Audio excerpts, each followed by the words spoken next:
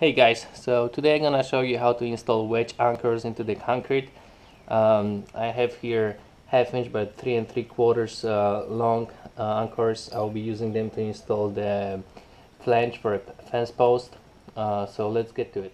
So with these uh, anchors, so you're gonna need to go at least two inches uh, deep into the concrete. You're gonna use the half inch drill bit and um, as you tighten them they're gonna come up a little bit and gonna lock in place so if you don't want it to stick out as much then you have to drill more.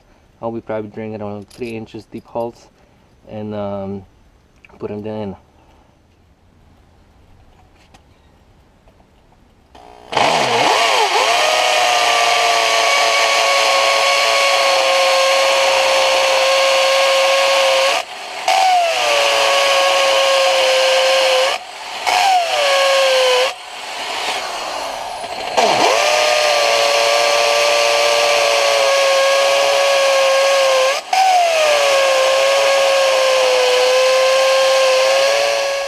Alright, so once you have your holes drilled out, clean up all the dust.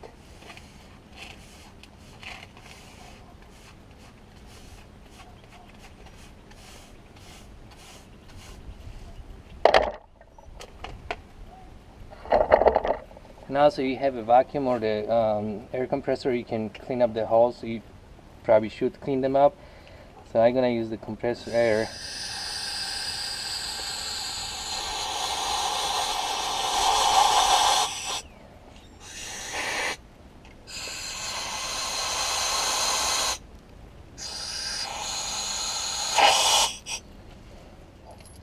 Alright, so you gotta put your anchor in and using the hammer. You're gonna drive it in there.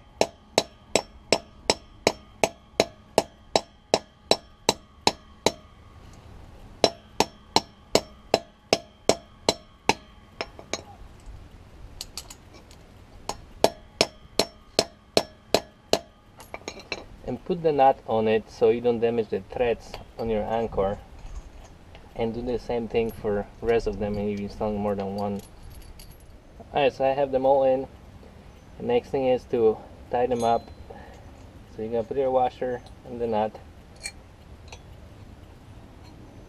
And just gonna tie them until they get locked in and the knot gets tight